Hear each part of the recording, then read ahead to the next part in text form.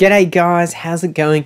In this tutorial we're going to be looking at why it's important to understand the speed of a song and what is BPM. Now, it's important for musicians to understand the speed of a song so that they can play in time together. And if they don't play in time, it can end up sounding like noise. Let me give you an example of this. Music is a repetitive pattern, like my finger clicks. Each of these finger clicks are the same distance apart, while noise is random, which means these finger clicks come in at random times. Now, I'm not saying that noise sounds bad, just that its pattern is made up of random lengths.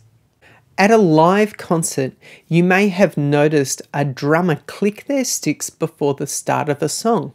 When they do this, they are letting the other musicians know the speed of the song as well as when to start playing. And it's important for the drummer to have a great understanding of the speed of the song so that they don't start the song too fast or too slow. There is nothing worse than hearing your favorite song being butchered by being played too fast or too slow.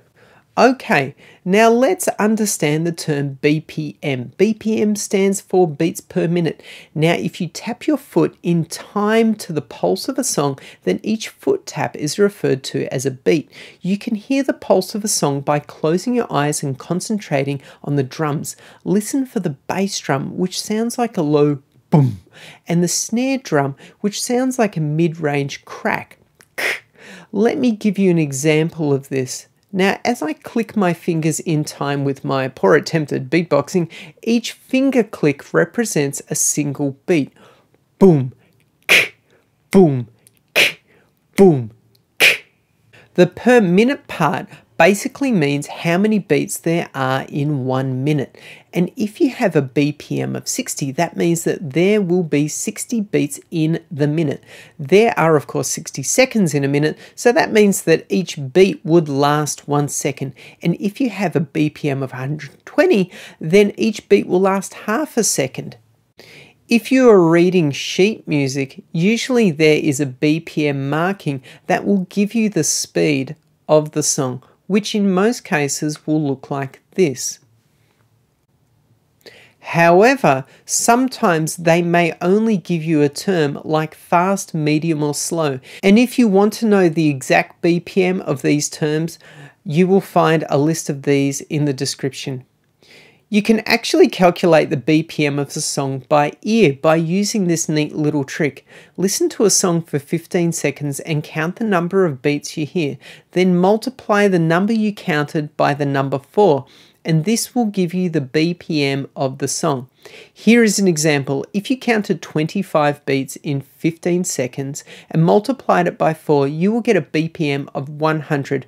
We multiply by 4 because in a minute there are 60 seconds and 15 multiplied by 4 equals 60. If you want a more precise way of doing it, then count the beats for 30 seconds and multiply this by 2. Okay, now if all of this is too much for you, there is a metronome on a website that you can use to work out the BPM of a song. The web address is www.8notes.com, which don't worry, I'll leave that in the description. All you need to do is tap your spacebar of your keyboard in time with the song and it will calculate the BPM for you. It's brilliant. Now, in case you're wondering, this is a real world metronome it's like a wind up toy, yeah, that has a pendulum that swings back and forth like a clock. As well as this, there are also electronic metronomes and metronome apps that you can get for your smartphone. I will leave links in the description to the ones I like to use. So, what has been your experience with playing in or out of time with a song? I know in the beginning it was a real struggle for me. I was once told by my guitar teacher that I had no timing and I was nearly kicked out of my own band because of this. Anyway, uh, I'd love to hear from you, so please leave your advice or horror stories in the comments. And if you'd like to see more tutorials like this, hit the subscribe button so you're notified immediately when the next one is released. Thanks, guys, and I'll see you in the next shoot. Bye.